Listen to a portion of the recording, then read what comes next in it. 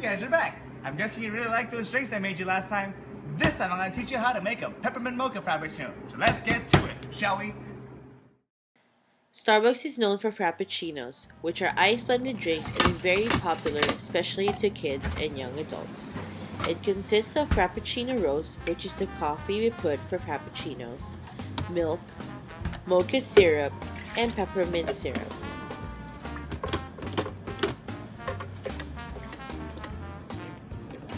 After pouring all the ingredients in the blender, that is when we put ice. And let's not forget the base to make the drink smooth when it gets blended.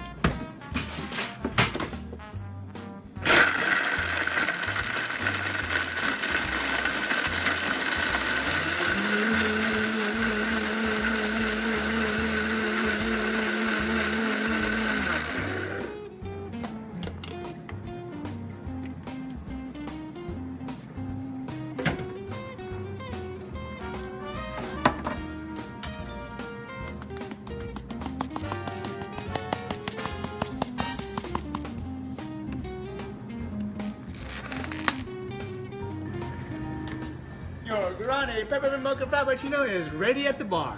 Next time, I'm gonna teach you how to make the brulee latte. Now that's gonna be a treat. I'll see you next time. Good night.